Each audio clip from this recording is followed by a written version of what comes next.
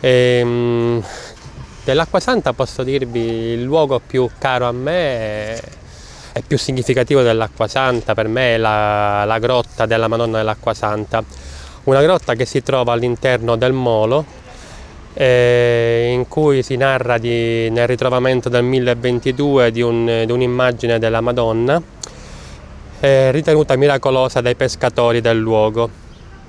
Su questa grotta eh, sgorgava e sgorga tuttora una sorgente di acqua miracolosa da cui deriva il nome dell'acqua santa. Quest'acqua ritenuta miracolosa perché guariva, si narra, varie malattie.